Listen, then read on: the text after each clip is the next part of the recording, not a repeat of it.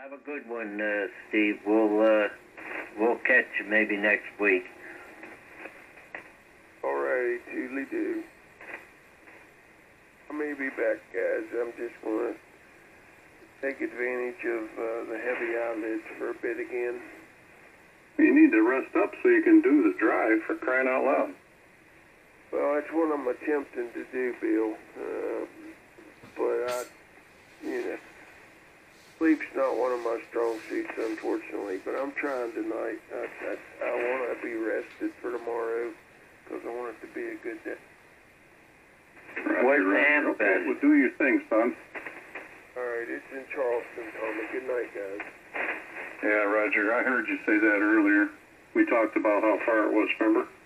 Yeah, 100 miles each direction. So, anyways, I'm gonna be quiet. I may be back. We'll see. All right, seven threes.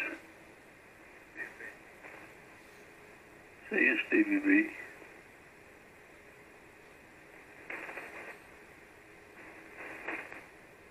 Kooks, I can send you some uh, some uh, information. Sure, send it over. I'm always apt to look at stuff. Yeah, you gotta you gotta check this guy out. It'd be a good start, you know, and get you you know get you um, orientated to somebody that worked in the field, and uh, that's a good start. Bill, were you an Art Bell fan? What? Were you an Art Bell fan? No, I don't even know who that is. Really? Oh, no? I would have thought he would have known all about it. Crazy. We're a big Art Bell fan. One last comment uh, as to what Bill's speaking of. That's all I'm going to say about it. If you want to, to know and hear a lot of the congressional testimony, look up uh, Grush, G-R-U-S-H. He's the whistleblower guy that Bill mentioned earlier, not by name, but that is his name. And he is way up. I mean, he's even got a couple clearances I ain't got. Uh, the, the the whistleblower on the ET stuff, or whatever you want to call it. I'll just call it that and let it go at that. But anyways, uh, read about him and read about uh, uh, what he's been saying and and proposing to be declassified and such.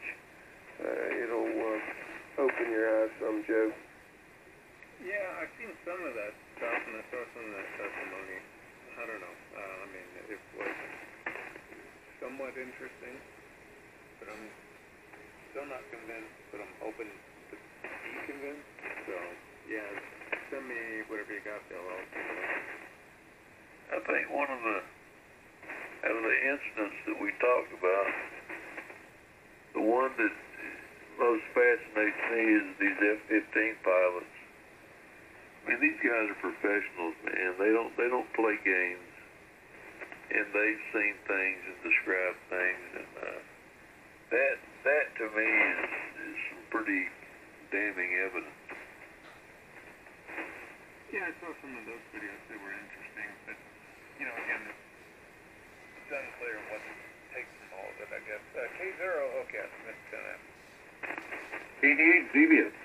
It's for ADY.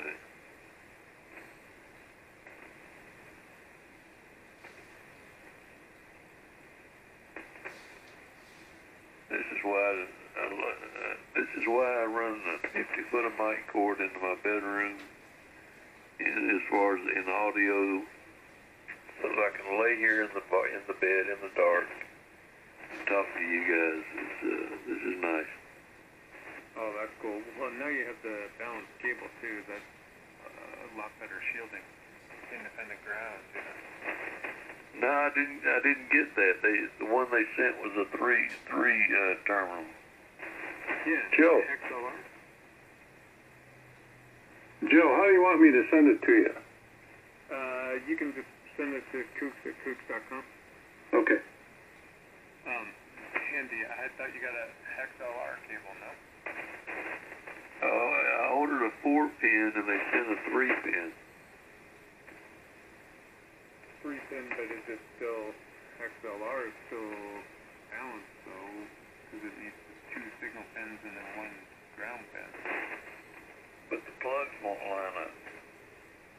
Oh, okay, so you're not using it right now, you're saying? Right. Uh, they told me just to keep it down. So if you need it or anybody else needs it, let me know and I'll send it your way. No, I don't need one. All right, I don't know if it made it, but it's in. Okay, I'll take a look. If you have a, it's a four pin XLR metal shield around the outside. Uh, which one are you referring to? The one I'm on tonight? Well, I mean, is that what you actually wanted? Yeah, uh, see, I didn't, I didn't know that there was balanced and unbalanced XL, XLR cables. So when I ordered this one, uh, this was actually designed for a, uh, generator, a started generator. It was not an audio cable. When I, when I disassembled the, uh, the connectors on the end, it had a ground tang to sol- so I soldered a uh, jumper from there to the to the uh, mic ground. So I don't know if I if I made it balanced. I don't know. Well, I mean, the traditional balanced audio has like one pin is ground, which is also tied to that metal shield, typically, and then the two other pins are for signal. Uh, but the negative pin for signal is not connected to the ground pin, so it's uh, totally independent. Right, that is the signal ground. Yeah.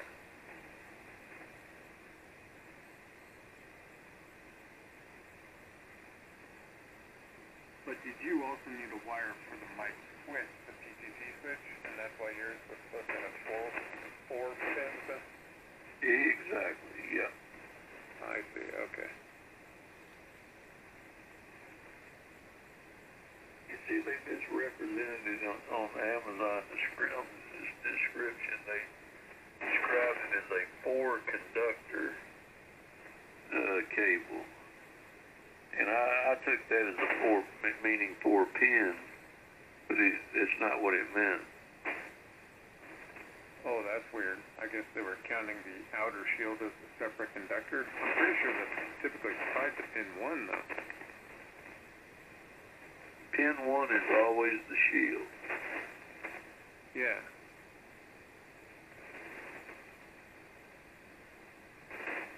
Hey, I, I, I haven't checked it. I've, I've got it. It's still in the package. Uh, I'll, I'll check that and see.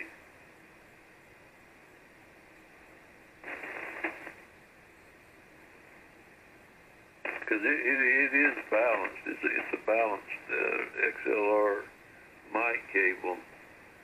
So I'll, I'll have to investigate and see how they actually have it wired. Okay. But that, was a question that I asked Blaine last night, and Independent he, ground. he let me pose it to you as well. around the outside that's picking up the RF, and if that isn't connected at all to the mic signal, then that helps you quite a bit. You know, plus you can keep all your grounds at uh. Well, let me ask you this. Why would they even have an unbalanced cable? Why, why would you choose to use an unbalanced cable on anything? Uh, why not have a, why, why wouldn't they all be balanced? Well, unbalanced cable is two wire. You know, like a, is it like a quarter inch phone jack, like what goes into a, an electric guitar? Yeah, but I mean, they, they're, they're selling three, three pin XLR cables that are unbalanced.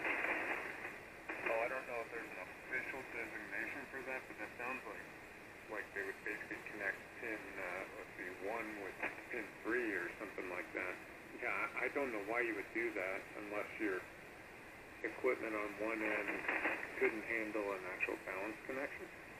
At all. But do you hear any hum on this one tonight? I don't hear any, and I don't see any on the scope. Maybe it's okay. Yeah, it could be. I mean, a lot of times you get a you get ground loops, right? So there's current flowing through the ground, and you know the ideal is that all your well, if you if, if, if you look up that talk on what they call the pin one problem, that's the uh, um, probably the best explanation where you want to keep your signal separate from the chassis unless you absolutely have to. And then that chassis, all the chassis are tied together, all at ground potential together. You know, I mean, there's just a lot of variables. There's a whole, there's a whole number of things that can cause ground loops, and it's a pain in the ass. But you can break them with a little transformer if you get a uh, audio isolator transformer. I mean, a good one with a, a real wide range is actually kind of expensive, but uh, but they do make them. Right, yeah, yeah, I'm, I'm, I'm aware of those. Yeah, I lucked out. Some guy on QRZ who had helped me with something else. Um, you know, I chatted with him a while ago, and oh, he sent me something else. This this nice guy on there uh, when I was a new ham. He actually sent me a whole kit to build a PTT switching relay thing. I haven't yet built his because I, I had already built my own by the time his thing came. But uh, but that was sweet. But then later on, I was talking to him because his background is in uh, uh, mastering vinyl, like literally cutting records. And he, uh, he, he, you know, I was talking to him about audio transformers, and he goes, "Oh, well, let me check my junk box. I'll send you." TD8 ZBF He 20. sent me like a package with I don't know five or six different transformers, and you know two or three of them were modern Chinese ones. You know they were a couple bucks or something, but a couple of them were these great old classic ones that are like uh, a hundred bucks or more, and they're full range. You know like like ten hertz up to up to forty thousand hertz or something. You know so they'll cover anything audio wise. They're really nice and that's what I put in. The, I, I, I did finally resort to using a transformer when I had this set up with all my audio gear. So always getting a tiny residual ground loop on most gear. So when I finally used the isolation transformer, that solved it. Wonder what made the classic one so much different. Was it the iron or the, the iron used for the core or something? I don't know. It's 480, but K0, okay, yeah, just the design of the transformer, you know, how it's wound, what the materials are. Know, just a lot of effort went into it to engineer it specifically for audio.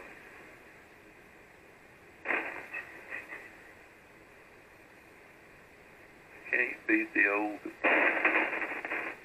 No, no, uh, I mean, I'm sure that there's modern transformer designs that could do it, but, uh, you know, but I didn't find anything that was of a reasonable price that handled full audio range, you know, 20, or even like 20 to 10,000 hertz, which would be plenty for ham radio. I didn't, yeah, I was having trouble finding that sort of thing even. How Heil sells one on their side. Yeah. What, it's like a hundred bucks or more? I, I think it was 80 or something. It's not too bad. 'Cause I don't know what frequency that goes down to. So they only sell one. I can't. I don't remember the specs on it. That's because we can only hear so much, and he won't go beyond that. That makes sense. Well, Heil said that numerous times. But I mean, most people on amateur radio don't transmit a whole lot below 100 or maybe 50. But there's a big difference between 100 and 50. I mean, here on that 50 and here on that 100, you know, you lose a lot of bass doing that depending on what you're listening to it from. If I go back to back to 50 there, you know, it's a it's a different sound. I'm listening to it in 76 year old ears. Yeah, good to hear the difference. With it, But not enough to make any difference. Yeah, well, it depends on what your speaker is, you know, whether or not you're listening with headphones or speakers that can mm, reproduce the low frequencies. You know, if it's like a four-inch speaker, then no, you're not going to hear much difference. You got headphones or a stereo with a, you know, six, eight, ten-inch speakers, then you'll hear it. I bought, I bought a pair of brand new Bose Companion uh, Series 2. Uh, brand new, still sealed in the box. Yeah, I heard you say that last night. Oh, I didn't know if you were still there. Yeah. I'm really looking forward to getting those. Did you hook them up? No, I haven't got them yet. Um, but they're supposed to be so, so, so, so highly resilient to RF interference, and that's what I'm really I'm looking for. So, yeah, we'll see. Oh, got it. Yeah, I ended up modifying to make it resilient to RF. You know, caps on the inputs and, and uh, fixing what they call the pin-one problem, which is the shield is tied to the signal lines instead of just just a shield. Uh, and then building custom power supplies, you know, just uh, out of a transformer for them, stuff like that. I'm, I went through a lot of stuff to get rid of RF and noise in that gear. Oh, and you have to put on your hundreds of t- toroids. Yeah, yeah. Well, I, I I did back then, but that was you know uh, I mean I needed less of it as I started to uh, uh, you know to customize the power supplies with shielded cables and and uh, you know like I, I uh, they're powered by 16 volt AC. So I got a 16 volt AC transformer, it up with 0.01 capacitors on either end of it, and then MOS on it for surge protection, and then shielded cable and the metal case, and you know, I mean, just all these little things added up to block the moment. Right.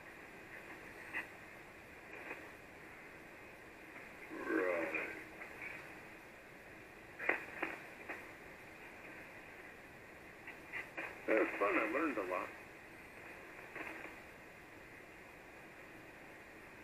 Bill, I don't know how to tell you who Art Bell was, but he was a he was a um, science fiction narrator that told stories on the shortwave radio every night.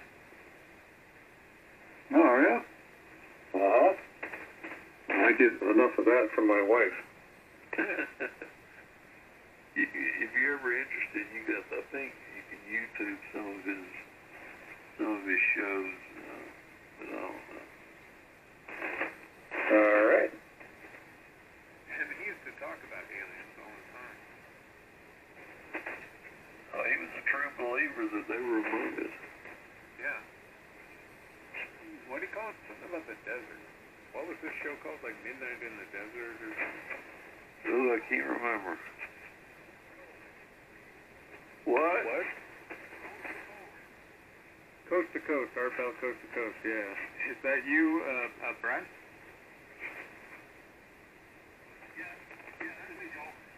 Hey, Brad, how are you? Hey, good morning. Yeah.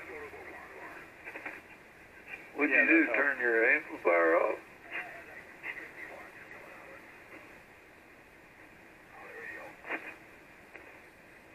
That's a lot better.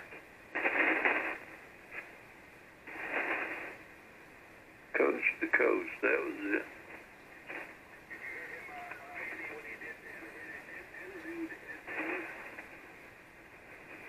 I can I can barely hear you. I can't hear you, Brad.